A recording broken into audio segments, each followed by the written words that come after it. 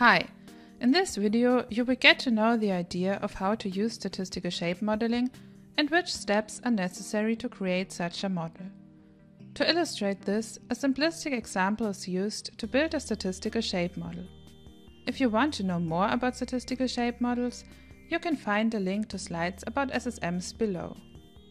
Let's have a look at the three relevant classes which are imported. The general Procrustes analysis is used to scale and translate the shapes and then create the mean shape. After this, the principal component analysis extracts the principal modes of variation. Now, the class Active Shape Model uses the information about the mean shape and the principal modes of variation to create a statistical shape model.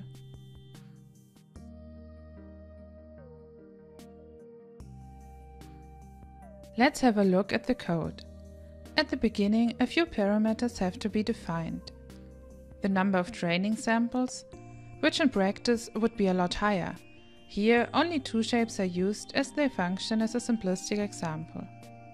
The number of sampling points for a shape, the dimension, spacing and shift to the center of the images, and two parameters to generate two different shapes.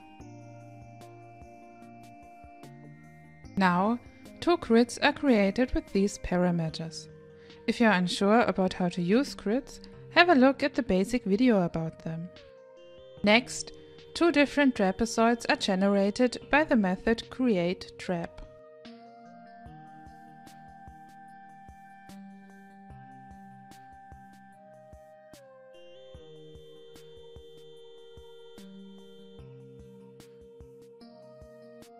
This method uses the parameter d to create a trapezoid between the points minus 100 minus 100, 100 minus 100, minus d 100 and d 100.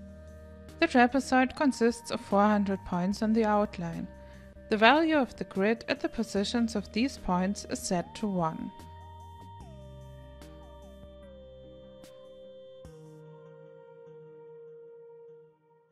Run the code to see the two shapes.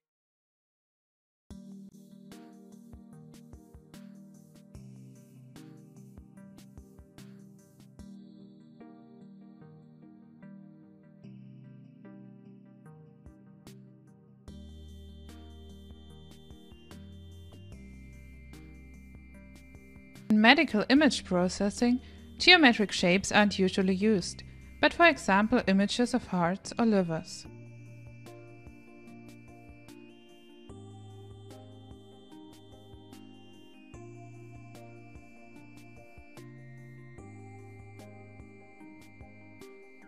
Now, two matrices are created and filled row-wise with the points forming the two trapezoids. After these preparations, the first step to create the model is to generate the mean shape. To do so, Create a GPA object.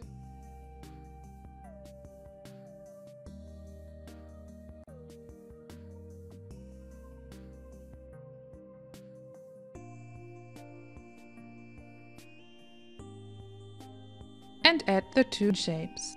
Now run the GPA.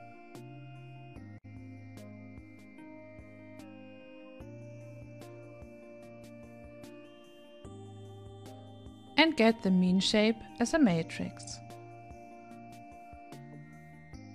Next, a grid is created from the mean shape matrix. Run the code again to see the mean shape.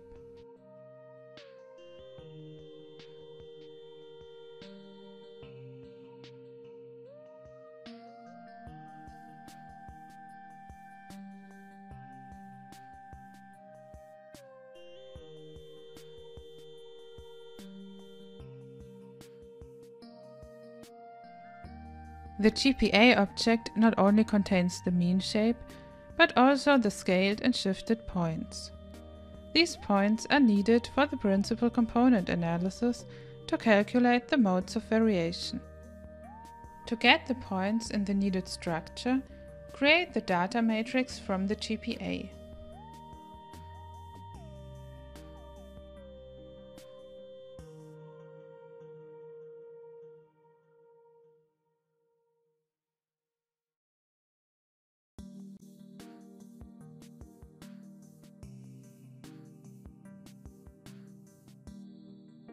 Then create the PCA object with this data matrix as a parameter.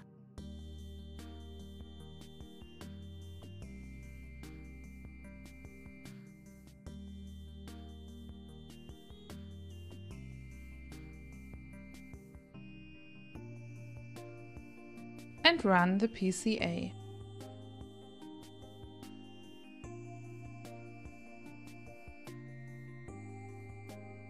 After this, the number of principal components can be calculated by using the eigenvalues of the PCA. Finally, get the actual model by creating an active shape model object with the PCA as a parameter.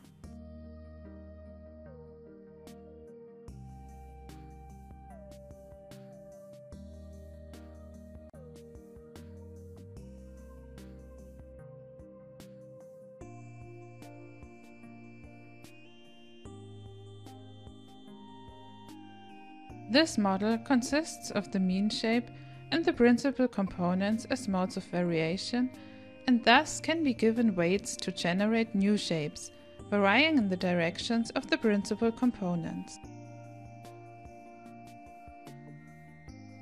To see this, different weights are used. Starting with the weights 1 and 0, a new shape is created and then converted to a grid.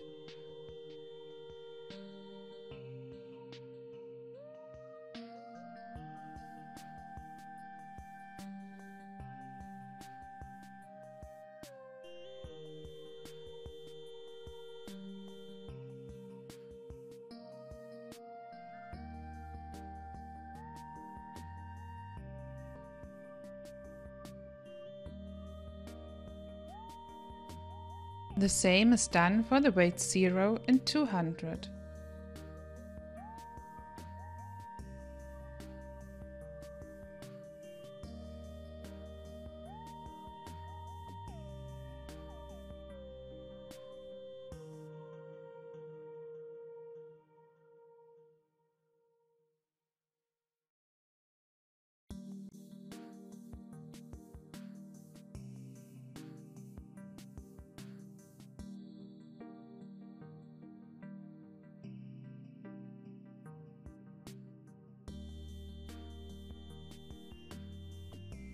And the weights 0 and 0, which should generate the mean shape.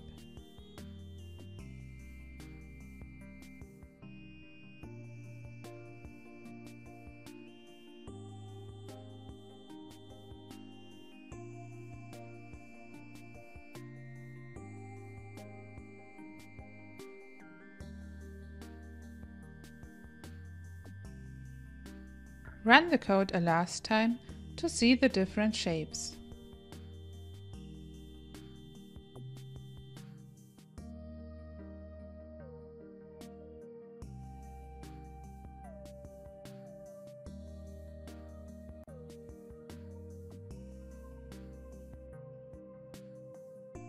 As expected, the weight 0, 0 created the mean shape again. The other two weight pairs generated two new shapes. Now you have seen a simplistic example of how to create a statistical shape model. If you want to, you can play around with the weights yourself.